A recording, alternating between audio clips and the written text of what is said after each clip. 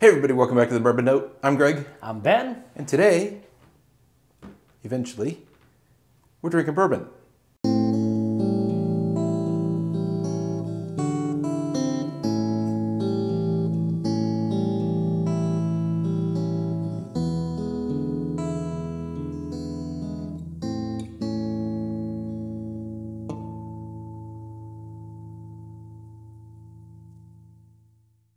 All right, Ben, the bar is suspiciously empty. Well, it's not fully empty. We've got some hidden gems over here. Okay. And the reason for that is, is we're doing a list today. Uh-huh. And so here's what this one's all about. Okay.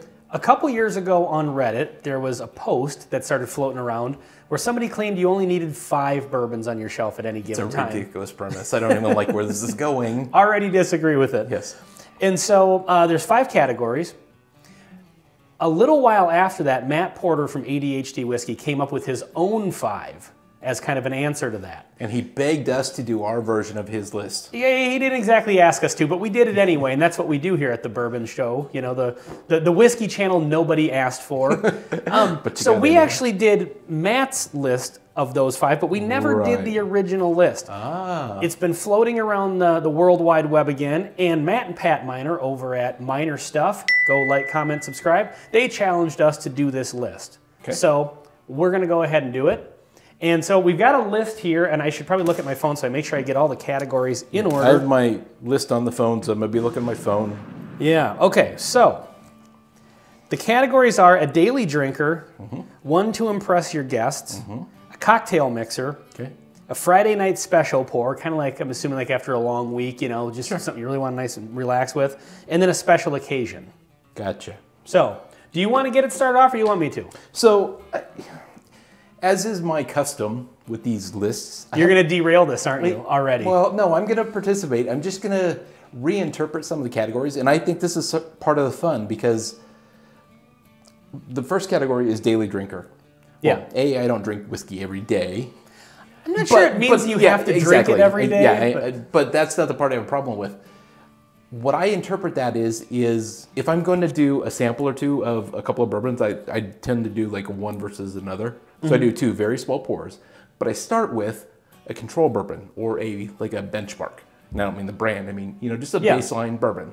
just a regular bourbon. So that would that bourbon I suppose would fit into the the daily, Daily drinker, 'cause I have kind of meaning it's a go-to. Every Yep. time you go to it, you're going to like it.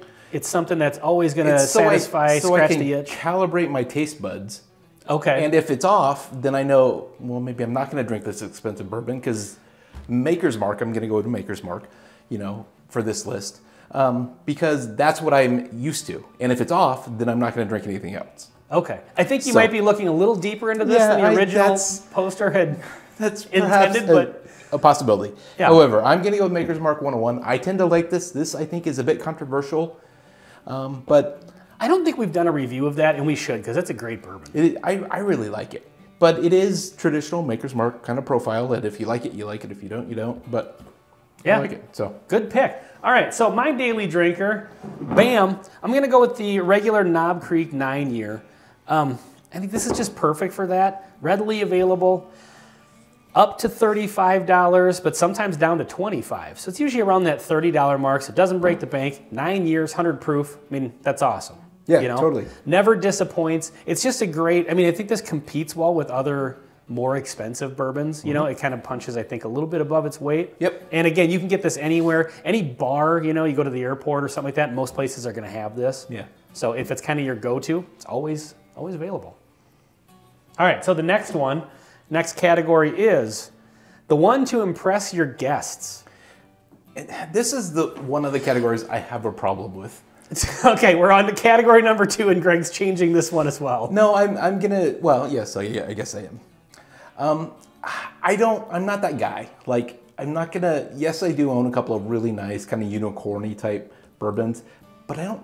I don't offer them to people to like make them feel bad or to like. Again, I think you might be looking a little Well, that's a little li- deep into That's this. my life. I look at it, everything maybe a little bit too deep, but um, what I view impress your guests means Mm-hmm. is show them something maybe they've never heard of that they're gonna love. Sure, that's a yeah, absolutely. So that's where I'm going with this. And everybody, if you're a bourbon geek, you've heard of this. This is Wild Turkey Rare Breed. Wild Turkey Rare Breed. I Fantastic love Wild Turkey. And especially the ones that come, the special limited edition ones that come with the turkey Yeah. on top. They're hard to find, but if, Very hard if to you find. find one, it's it's definitely worth buying. Yeah, absolutely. That's a great.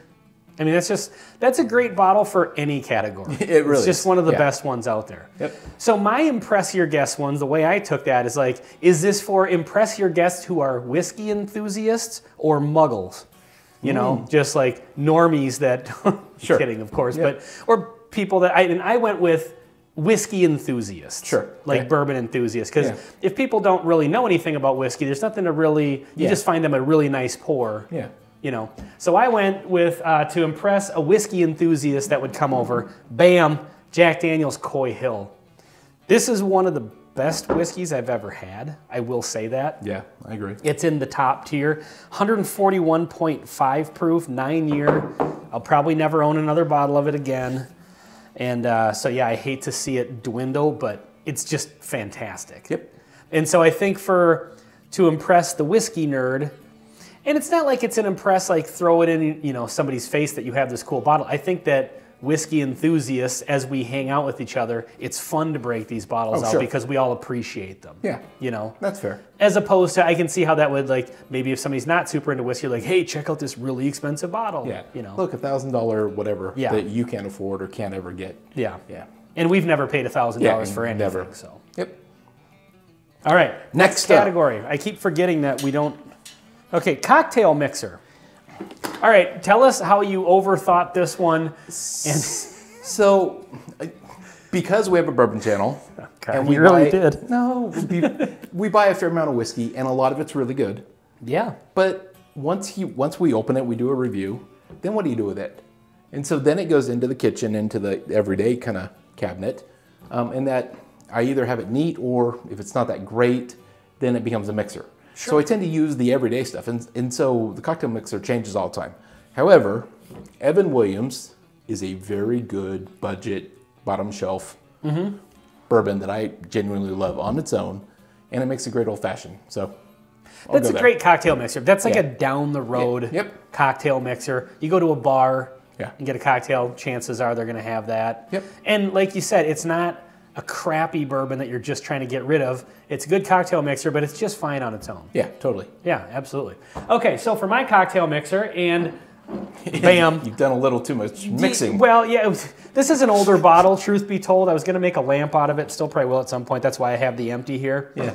Um, I don't make a ton of cocktails, but Me either, to be honest. Bulleit is budget friendly. It's around the $20 mark, 90 proof, so it's not going to overwhelm the cocktail with proof.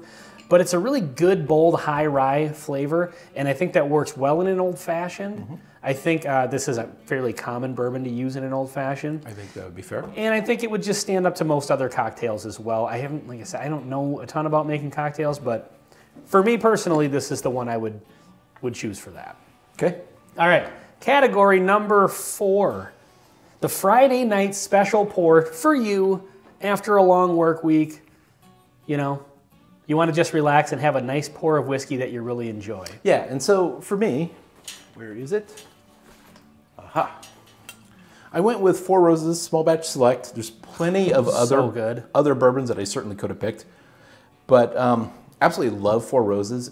And for whatever reason, I mean, they do have a budget model, Mm-hmm. but everything that I have from them tends to hit, like in my mind, as quality slash premium-ish.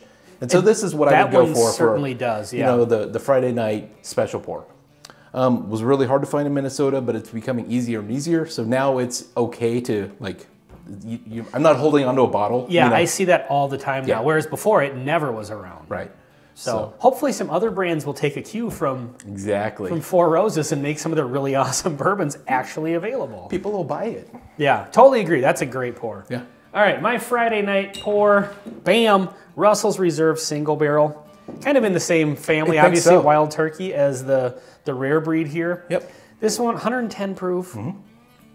They were gone from Minnesota for a while. They've shown back up recently, so they're not impossible to find, but they're a little bit. So for that really nice, you know, after a long week pour, this one's just perfect. It's fantastic. Everything from Wild Turkey is. Yep. And yeah, it just uh, it checks all the boxes for that for sure. I totally agree. Like these, I view as the the high quality bourbon, but you're not afraid to drink it because you know you Yes. can find another bottle. Absolutely. And same with that one. Yeah, it fits into that category of it's a special bottle. Yep. But it's not special because it's rare or you're going to get charged, you know, allocated secondary prices or anything like that. So, all right. Speaking Last of category. allocated and secondary prices, potentially, this is the special occasion bourbon. So I decided not to go obscene, Sure.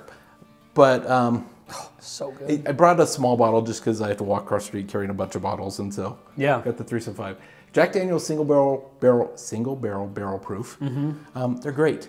yeah. Um, they're they vary in proof, and so find you know one that is you that year is that the 131 one thirty three Oh, six. I remember that one in particular is fantastic. It is. They all are a little bit different. Obviously, they're single barrels. Mm-hmm. Um, but I, I know there's some people out there who are not Jack Daniel's fans. Mm-hmm. Um, try the high proof stuff. Yeah. Um, oh yeah, for the, sure. The higher age, higher proof is really. It's not a bourbon legally seems- or technically if you're in Tennessee, and I'll leave that alone. But it's awesome. Yep. Um, I f- yeah, I think the higher proof is where Jack Daniels really starts to kind of shine a little bit. Yeah.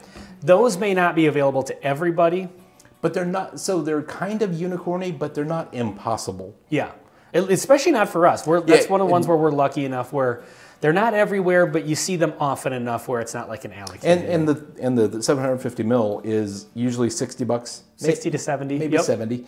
Yep. Um, but- Worth every penny. Yeah, absolutely. Outstanding.